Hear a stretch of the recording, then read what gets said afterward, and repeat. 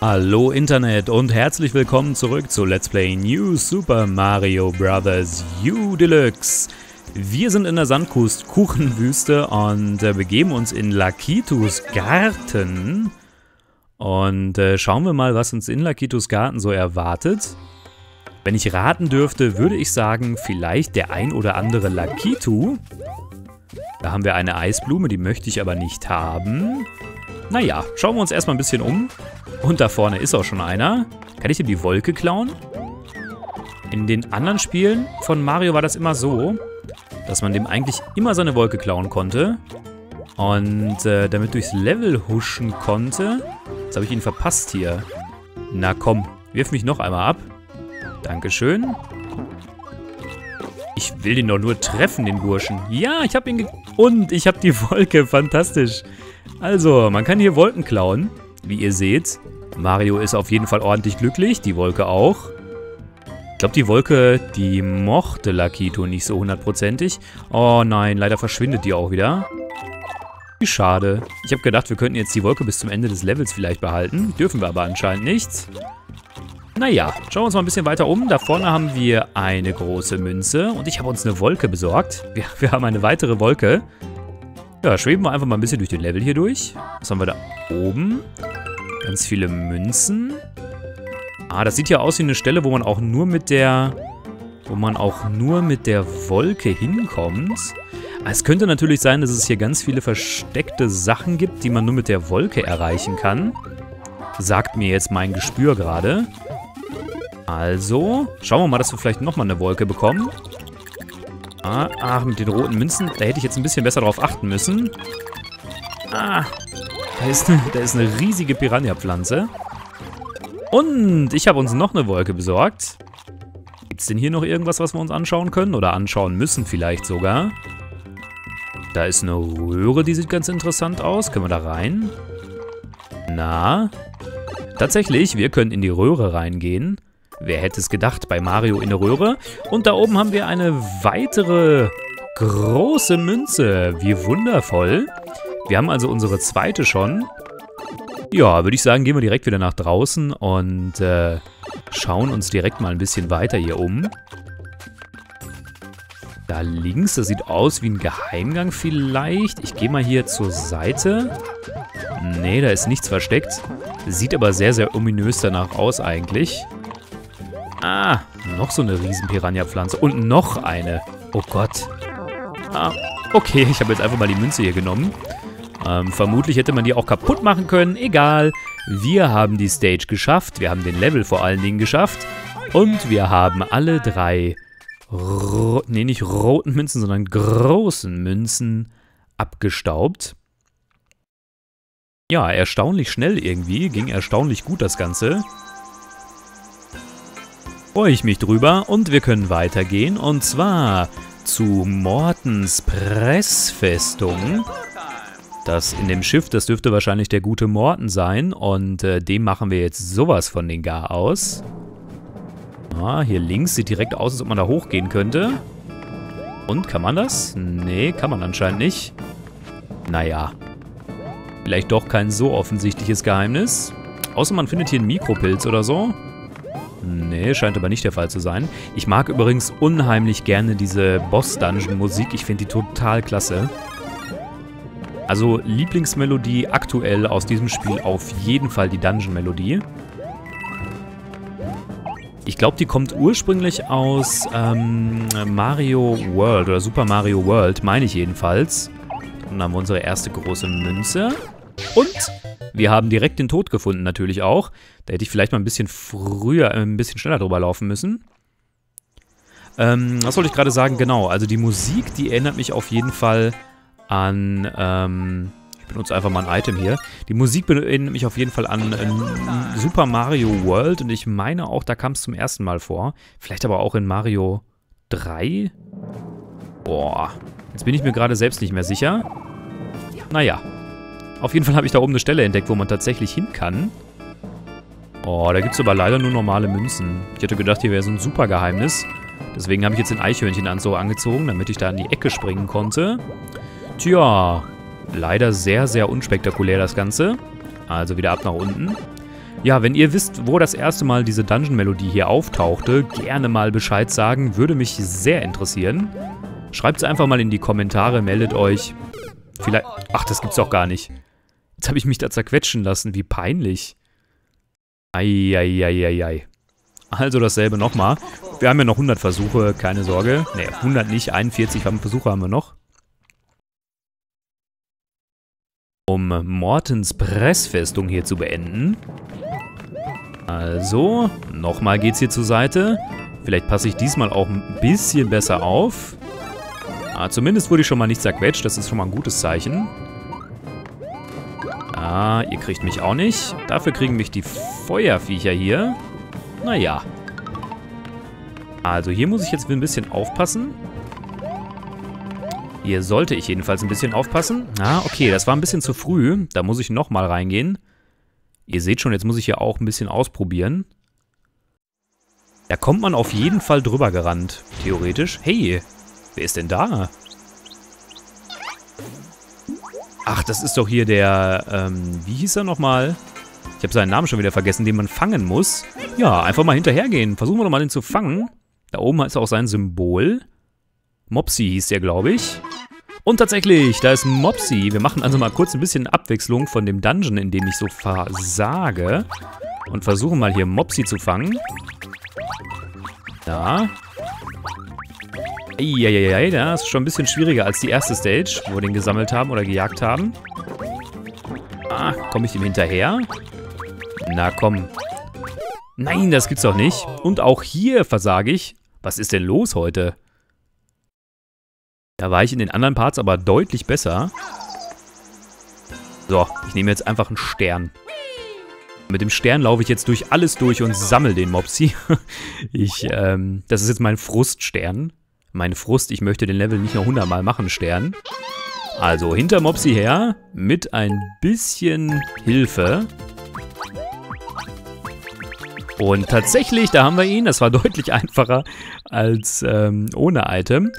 Und wir bekommen etwas von Toad dafür. Mein Zeugs, tausend Dank. Hier, nimm dies als Zeichen der Dankbarkeit. Ein Power-Arkorn. Wundervoll. Rein damit in unsere Itemtasche. Und das war's mit Mopsy. Mopsy ist wieder weg. Also, jetzt aber wirklich zurück zu Morten oder zurück in Mortens Pressfestung. Und diesmal versuchen wir endlich mal diese große Münze zu bekommen. Und ich versuche mal den Flammen auszuweichen, damit ich meinen Pilz behalte oder meine Größe hier behalte.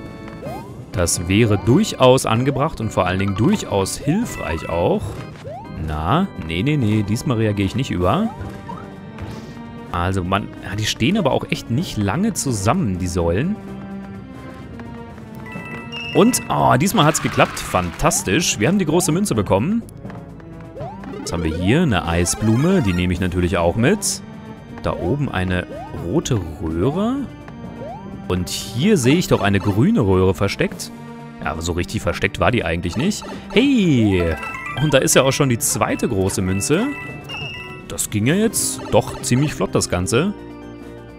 Gar nicht mal so kompliziert. Jetzt müssen wir natürlich noch schauen, dass wir hier unten durch dieses Lavagebiet durchkommen. Ja, ich warte einfach mal ein bisschen. Ich mache jetzt mal ein bisschen einen auf geduldig hier. Denn ich möchte natürlich im Idealfall jetzt nicht mehr sterben. Wo wir jetzt schon die ganzen schönen Sachen gesammelt haben, möchte ich die auch behalten. Zumindest Mittelstäbchen haben wir schon mal. Und eine weitere Eisblume für unsere Sammlung. Oh, da unten ist die große Münze. Wie kommt man denn da dran? Da muss man auf diesen dieses Teil hier springen. Ja, das hat funktioniert. Okay, und hier kommt man einfach wieder nach oben. Deutlich leichter als Münze Nummer 1, meiner Meinung nach. Geschafft. Und auf die andere Seite. Jetzt könnten wir aber langsam auch schon mal zu Morten kommen, finde ich. Nee, die Sachen hole ich mir da nicht, die Münzen meine ich. Das war mir jetzt zu stressig, hier hinzukommen. Und da haben wir einen Pfeil, der mir sagt, dass wir sehr, sehr, sehr in der Nähe von dem guten Morten sind. Ah, passiert hier was? Ah, die Plattformen bewegen sich. Oh, passiert sonst noch was? Da rechts kommen noch Plattformen auf uns zu. Ja, da springe ich jetzt nicht hin, sondern ich warte, bis die vielleicht hier hinkommen. Nein! Ach, ich Idiot, da hätte ich nicht drauf gedurft. Ah, das unendliche Dungeon oder das unendliche Schloss hier. Aktuell zumindest. Soll ich jetzt einen Gegenstand benutzen? Nee, benutze ich nicht. Wir gehen einfach nochmal rein und äh, wir schauen mal, ob wir es jetzt vielleicht endlich mal hinkommen, irgendwie zu Morten hinzugelangen.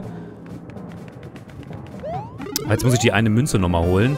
Ja, wobei, die war jetzt nicht ganz so schlimm zu finden oder nicht ganz so schlimm zu besorgen. Damit kann ich noch leben. Ja, und damit leben ist ja auch das Motto hier der aktuellen Let's Play-Folge. Denn das schaffe ich aktuell nicht, zu leben. Ah, nee. Die Münzen lasse ich. Ach, jetzt bin ich schon wieder dagegen gesprungen. Mann, Mann, Mann. Meine ewige Ungeduld. Und da bringt mich meine Ungeduld schon wieder um. Hallo und herzlich willkommen zu einer sehr unauffällig geschnittenen Stelle. Ganz, ganz unauffällig geschnittene Stelle. Meine Lebensanzahl hat sich einfach dezimiert. Nein, ich habe hier mal ein bisschen geschnitten, falls ihr euch wundern solltet. Denn ähm, ich bin hier so oft gestorben, dass es mir selber jetzt auf den Keks gegangen ist. Und äh, das wollte ich euch jetzt nicht alles antun. Ich wollte jetzt nicht, dass ihr hier hunderttausend Mal diese Stelle anschaut, sondern nur ein paar Mal. Und das haben wir ja gemeinsam schon. Also wir gehen weiter nach rechts und versuchen diesmal zu überleben und durch diese Passagen hier durchzukommen. Oh, oh, oh. Schon werde ich fast wieder gegen die Flammen hier gelaufen. Glück gehabt. Oder nicht Glück gehabt, Skill gehabt. Und wir kommen zu der Stelle, wo ich schon ganz oft gestorben bin, nämlich diese blöde Situation hier.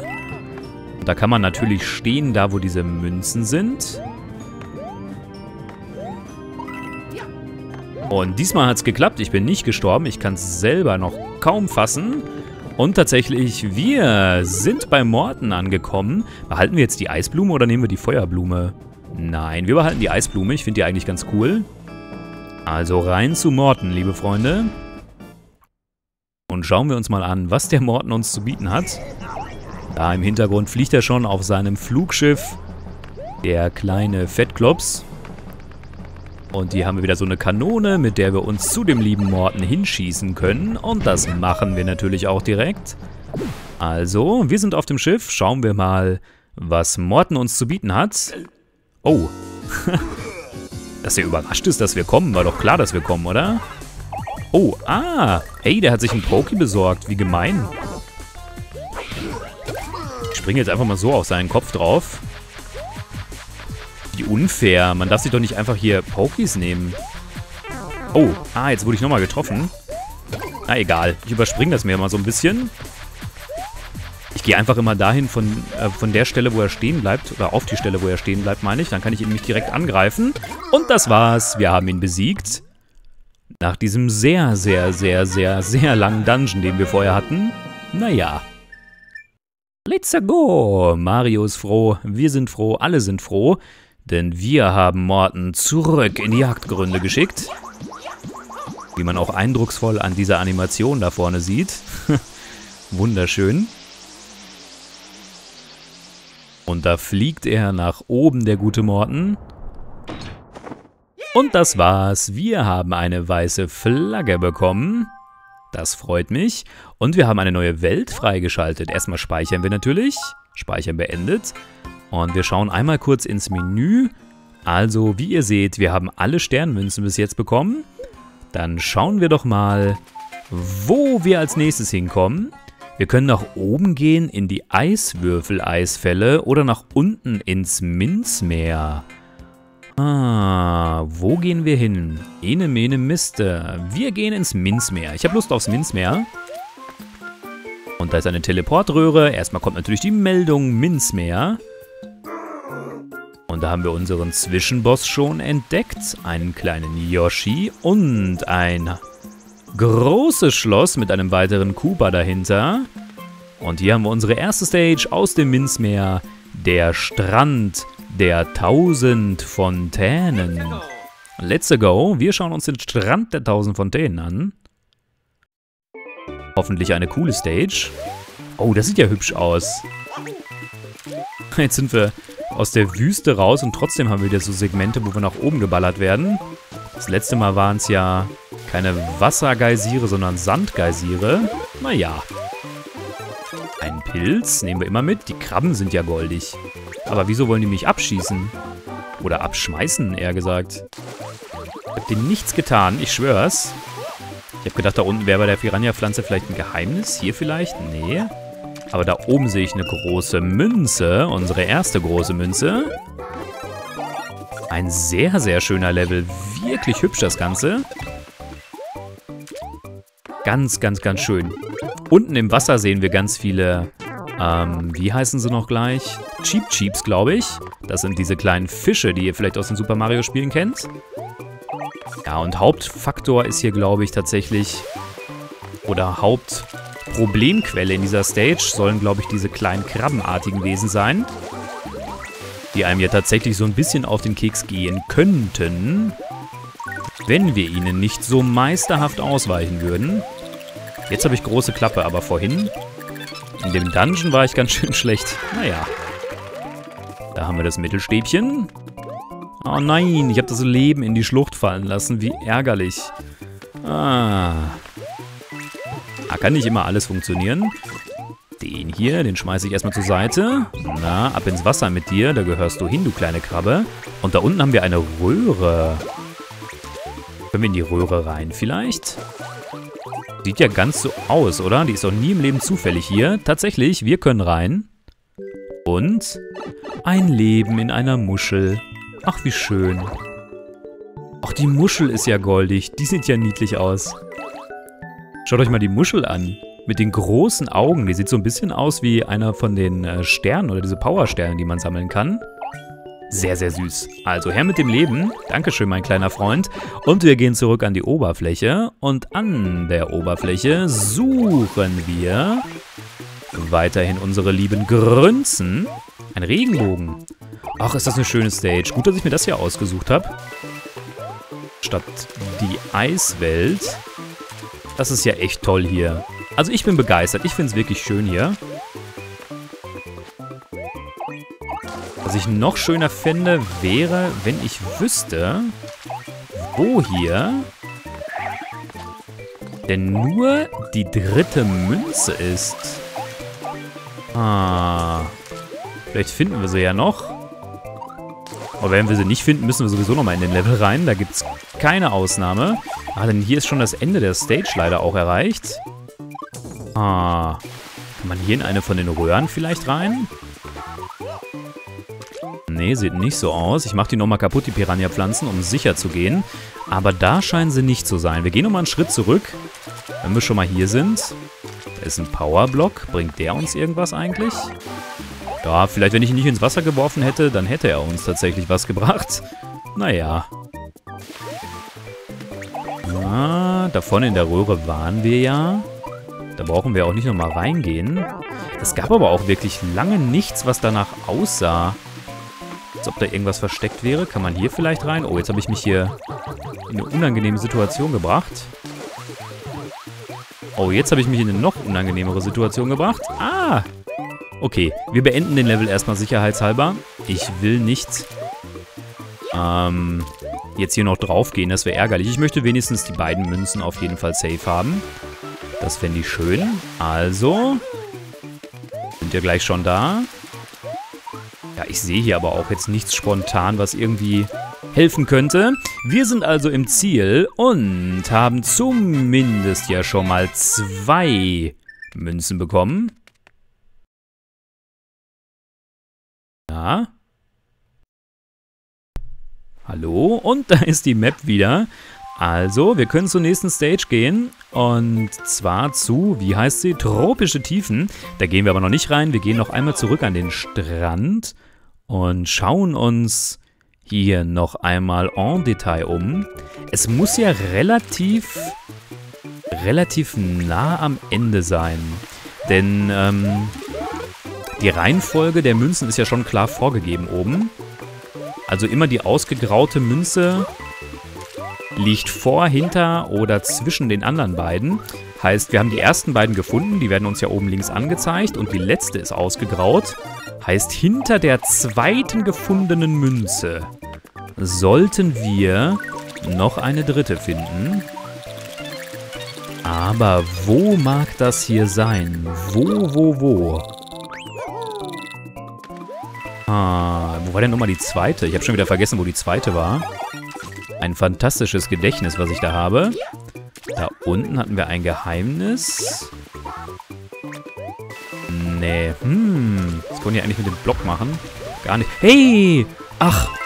Ach, man muss den Powerblock benutzen, dann kommen die runter.